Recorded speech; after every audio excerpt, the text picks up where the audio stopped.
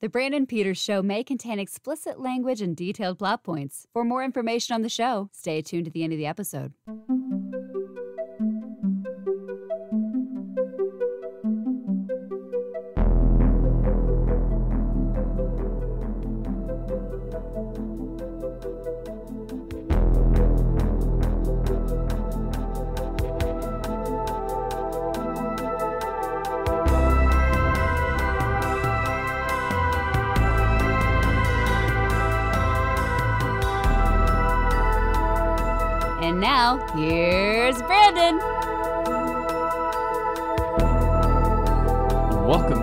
Space Show. I'm Brandon, and riding shotgun is Tony Schaab.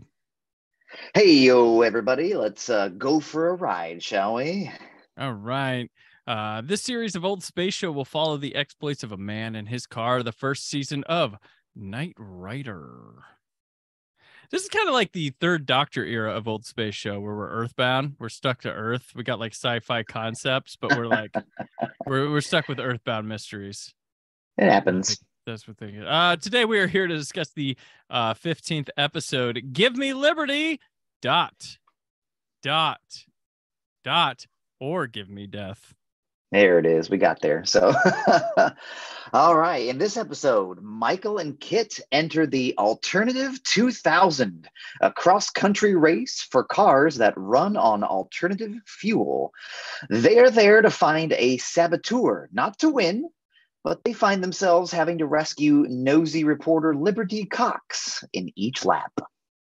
Yeah. Alternative 2000 could have also been like a, a compilation CD in the 90s.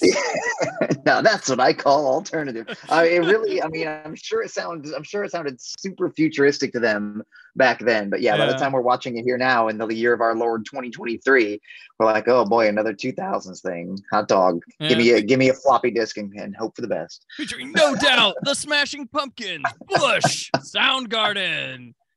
Um, all right. So this was directed by Bernard L. Kowalski, written by David Braff, and starring David Hasselhoff, Edward Mulhare, Patricia McPherson, William Daniels, Robin Dearden, Brett Halsey, Alan Fudge, Francine Lemby, Richard jo- uh, Richard Young, Kai Woof, and Sab Shimono. Um, yeah, uh, this is a episode based around like a Lamaze type race or something where Yeah. they're just like racing around and stopping in the middle of the night and picking up. yeah, it's kind of a yeah, an odd uh yeah, like an odd I mean, I guess I know that's kind of like the international, like there's a lot of international, like around the world type Mhm. of races and things that kind of take that. And it's very interesting because the stakes feel super low early on, right? They're like, oh, you know, Devon's like, it's you know, you're you- you're going to be in this because there's a saboteur there. You're not supposed to win it, but it's just Mhm. a little thing to show off these alternative fuels. And then by the end, like the doctor is like, if this race doesn't go through, it'll it'll set the the automotive industry back 20 years. I'm like, geez, you know, like where, where do we land on the needle here? Varying degrees of intense. yeah. So yeah, and it's like a super science nerd race too. It's not like just like your speedy cars. You've got like the solar paneled car. Mhm, yeah. Uh, you've got the car that is the General Lee without the decals. Uh, that's run off- hilarious. We were yes, runs off moonshine. Moonshine, yes, uh, we were and we were just talking about the. Uh, it wasn't more than a couple episodes ago. We were Mhm. talking about the uh, surprise that we had where there was never an actual physical Duke Hazzard crossover. But yes, here Mhm. we have an orange Charger that's driven by uh, a pair of cousins who have very clearly Confederate flags on their uniforms, and their names are Duke and Prince. Like, don't tell me you weren't trying right? to make the unofficial crossover happen. and you made that car crash out and explode and That's killed them and killed them in it. They did So- not survive. So Shots fired from Knight Rider over to the Dukes of I- Hazzard set. I was generally genuinely shocked that I that there wasn't like a a, a sheriff in like a wide brim hat, like stomping on his hat in the background as the as the as the characters died, or like, you know when it when it jumped to hear the faint tones, dulcet tones of the uh, of the uh, horn doing its you know last last call or something like that. So Yep. Daisy Duke, Liberty Cox. Oh my goodness Uh, gracious! Yeah, it, and these guys, I mean, let's uh, stay on them for a sec. They make them just reprehensible the whole time. Like they are Oh yeah, gross towards liberty and all. Like you mm-hmm. don't. It makes it real easy for like, oh shoot, the hillbillies got blown up. no, no, they Like, died. That's too bad. Yeah, like What are you gonna do? There and there were there were some I read online. There were some conflicting reports. I that's probably lost to the ages now, mm-hmm. but there are some sites out there that say that that that this orange '69 Charger was a was it was an original stunt copy of the Hmm. General Lee, but other ones say no, it can't be because the door's open and it's like a regular. It just happens to be an orange Oh. colored Charger. So I, I don't know where where it falls on that, but yeah, some some places are like, yeah, they per- they bought it from Warner Brothers. I'm like, yeah, is this real or is this just what you want it to be? Right, I- I exactly, know the yeah. answer. in the early days of the internet, somebody got that onto an IMDb trivia, and uh, so many people read it, and Sure, believes to be true. Just like I, but once, there, yeah, I, I once yeah, made up. Uh, oh, go ahead. And no, I was just gonna say there, even though there, even though that may not be true, there's no doubt that the writers were Mhm. all in with Oh, the yeah. Duke and Prince and the Confederate flag and running moonshine in your car and it runs on moonshine. Like like you couldn't have been any more like No mistake. in your in your blatant references here. Oh, and they 100% have my have KITT do all the stuff you'd see the the General Lee do in that show. They're like jumping and getting ahead, and oh yeah. oh yeah all the cool stuff um but no like I- i remember so like speaking of like does imdb still have the forums anymore that they used to where you'd have a That's a movie and there'd be a message board? Because like i was t- talking about putting false information i i on the message board um me and a friend one time back in the day we would put a rumor about uh, a kickboxer reboot back in the OOs that we were talking about and people bought it. Ah, and then there was a uh, hey dude the movie if you remember. Ah, and we called it hey dude the movie the texas drift and like people debated whether this was a true report or not the whole time I love it. I love it. like we had like that danny character he was he was killed in the opening scene they're like why would they do all this just to kill him in the open people were people bought at least enough to debate it That's so funny. That's, that's what you could do back in the days of IMDb. Um, I, I, I know people question the site now, but it's it's a lot of it. The information on there is legit when it comes to just direct credits and stuff. Trivia section, that's its own beast, but a lot of the credits are are mo. I'd say it's mostly pretty pretty well done. So um, this episode, uh, this one does open up interesting. We have a night crime truck headquarters on the move like scene.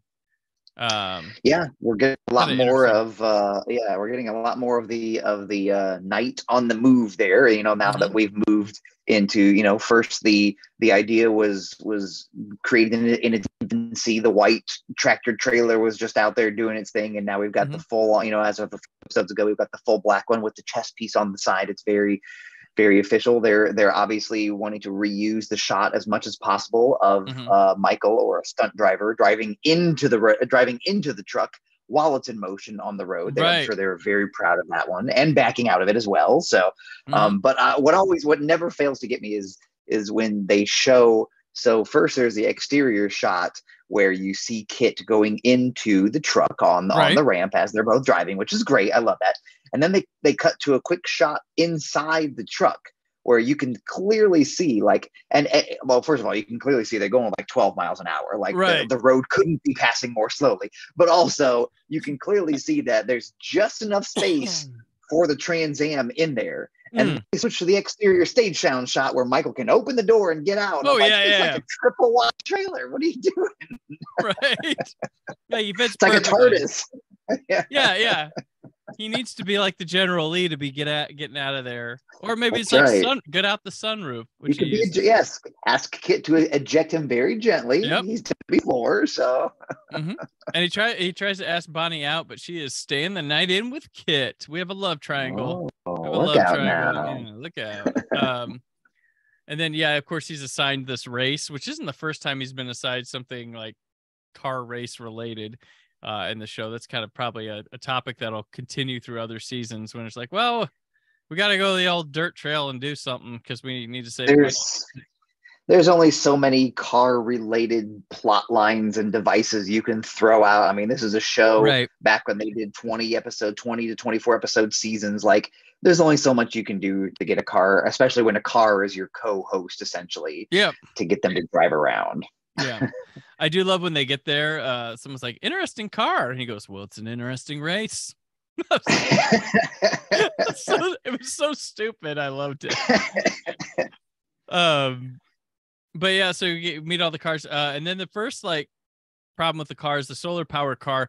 We get to see like a suitcase shotgun when you know we put the or not shotgun but sniper rifle. We put those Yes. together and who's shooting, who's shooting, and then like that car almost goes off the cliff. And there's a news the TV crew that's like just watching it like they're like like a modern day person with their cell phone watching something they should probably be helping out with uh, and they're like this is better than the french connection and it's for real i'm like i was like okay one that there's nothing right there that's like the french connection at all but get off your ass and go help that person so yeah Mm. You're right, and of course it was the it was the one lady driver of the race. So I'm not trying to say that it was uh, you know some some inherent '80s sexism, but uh, Mhm. but of course, but you know, they Michael was more than happy to help, of course, and make sure. Oh, and once again, we get the we get the thing where KITT, you know, he's got a he's got a grappling hook, right, like out the back, like ev- Mhm. like everybody could see, including the news uh, crew who's actively taping them. Everyone Right. can see that this is a super fancy like spy car, but no one really seems to care anymore. You know, everybody's like, oh, yeah, okay, Well, fucking a- car, I get it. This is a race where he could fit in with that right all the Yeah, cars conceivably, I suppose. Uh, there is a somehow in the lead. There's a Datsun without a back and a dune Mhm. buggy at one point. So I guess this is it, uh, at times this feels like a Hanna Barbera race more than right anything else. oh but yeah it's yeah close enough. So That's perfect. Hanna Bar- that is perfect. The Hanna Barbera race. Uh and I will say too, like speaking of that crew that's not helping, it's not like it's a cameraman and a guy giving him direction. It is like six dudes. Like yes, One of you could be spared to go help. yes. Two.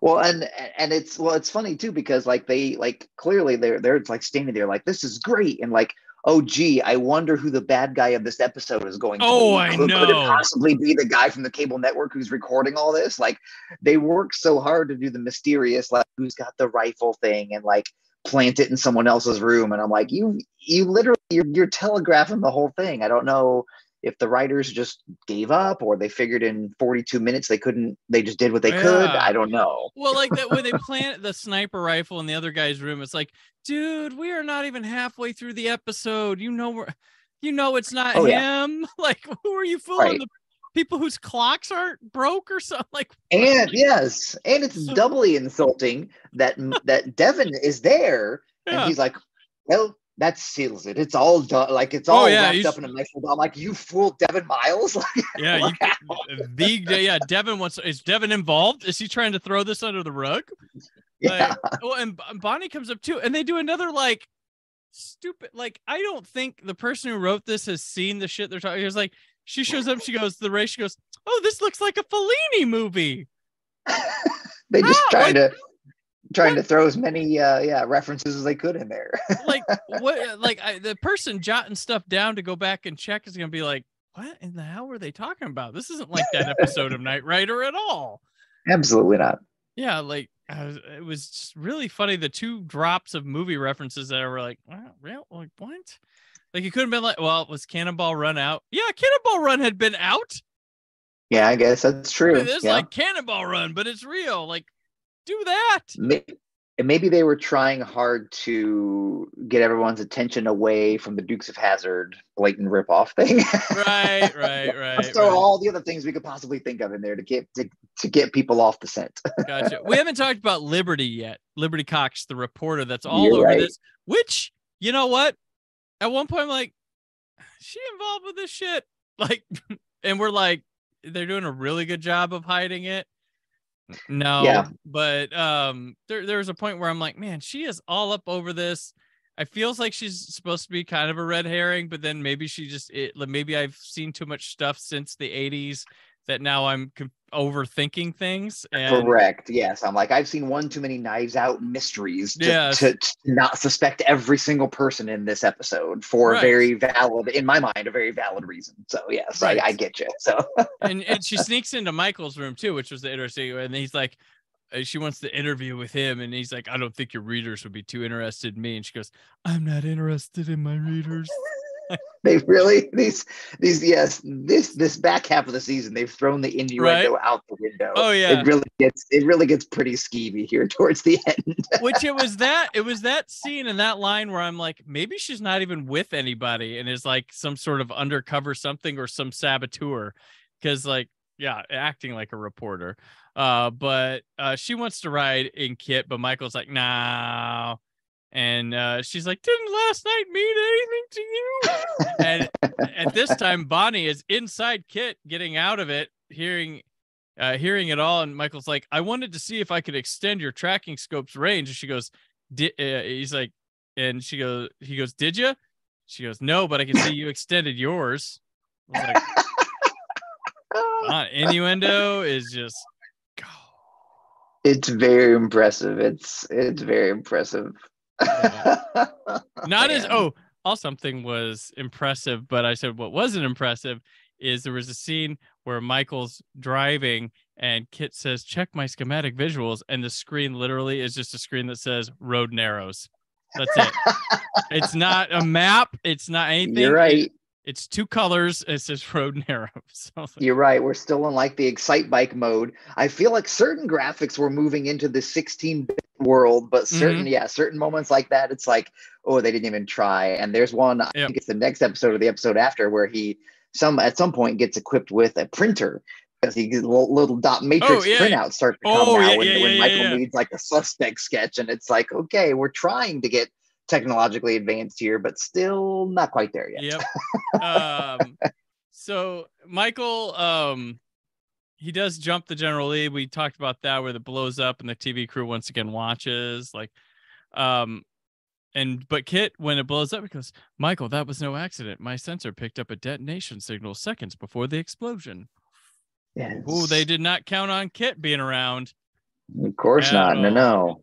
Uh, the Not, yes. Uh, Liberty overhears this whole thing about the guys who are behind it, and it's being done for the rating. gasp.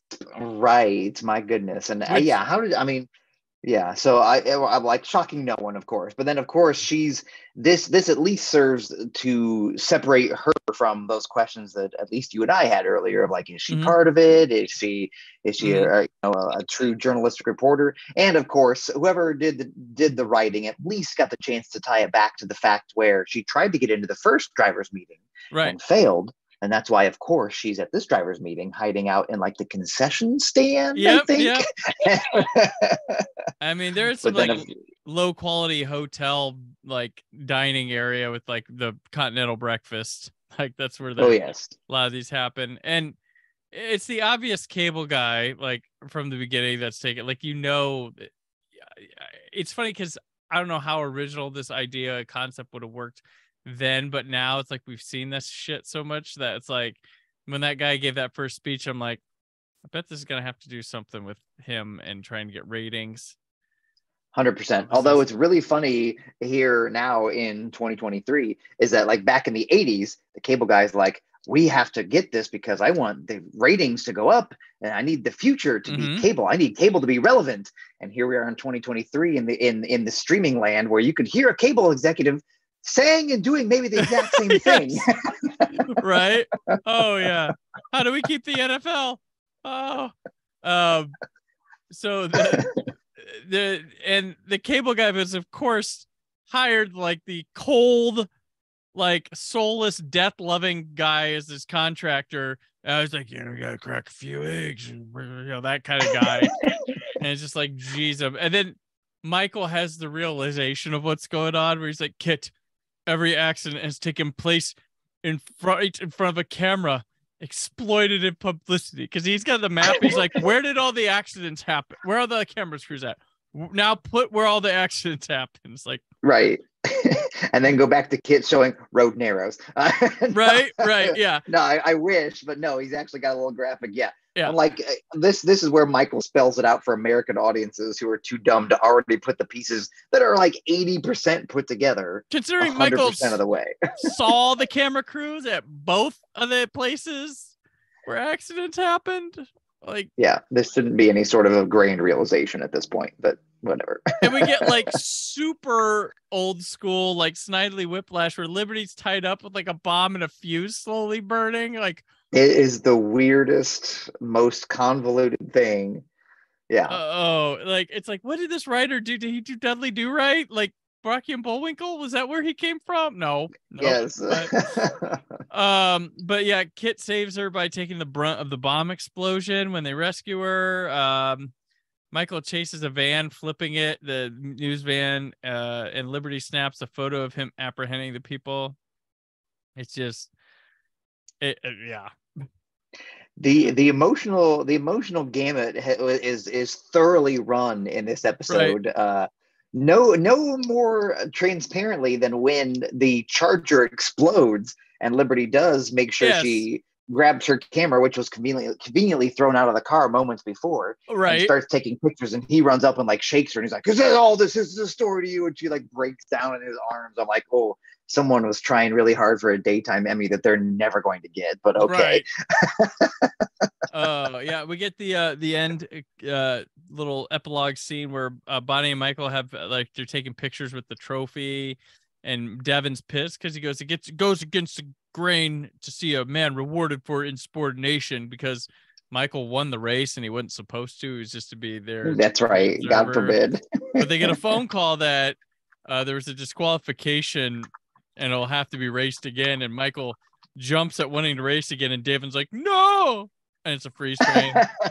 and it's like uh, one of those funny, yeah, it's like one of those funny, like final it's it's very 80s obviously when they're like um you know like you you, you get that final little like moment where everybody mm-hmm. it's it's it's akin to like the the freeze frame of them like jumping in the air at the end you know like that's, that's what they're going for so oh yeah like for big comedic I, I do like that they're they're finding ways to get devon and bonnie more present and involved in the episodes and not like feel like they're forced in so they can have yeah.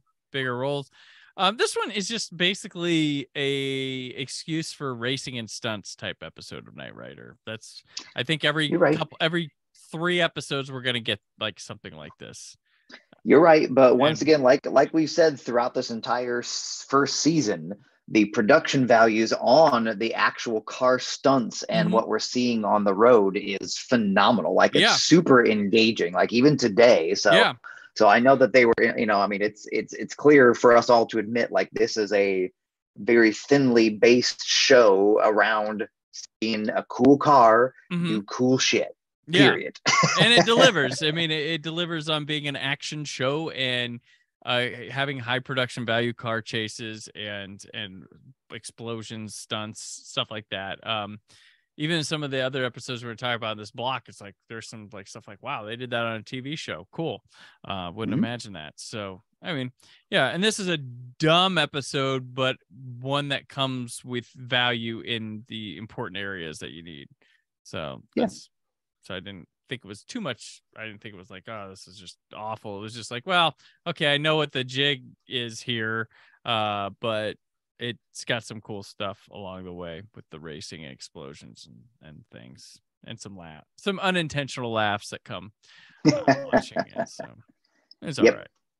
uh so all right tony let's shift gears and look on toward the sunset before we hit the horizon where can people keep up with you yeah you can come find me around the internet mostly at the old uh the Facebook and the Instagram and the Twitters at Tony Schaab. And of course, you can come hang out with me in my nerdy capacity as the senior editor of sciencefiction.com, where we talk about all the fun news and reviews and just kind of have fun with all that good old genre stuff. Gotcha. All right. Hashtag the South Lost. Just want to put that out there.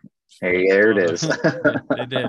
Uh, and I'm on Twitter and Instagram at Brandon4KUHD. Written work on WhySoBlu.com. Uh, the Scream retrospective continues Monday, uh, as we will be on Scream 3, I believe, is where we'll when this episode lands and where we'll be at. If I hit that on the money, you know it. I'm good. Uh, if not, well, you either heard that or are going too soon. So I'm not too far off. All right. But uh, also, come back here Wednesday for another Night Ride adventure, but from Old Space. Brandon and Tony, not so lone crusaders in a dangerous world, the world of Old Space Show. Thank you for listening. The Brandon Peters Show is a Creative Zombie Studios production. Produced by Brad Shoemaker and Brandon Peters. Written and edited by Brandon Peters. Announcer vocals by Jessica Alsman. Theme song by Metavari. Web design and show art by Brad Shoemaker with Brandon Peters. All music and clips featured in the episode are property of their respective studios, and no infringement is intended.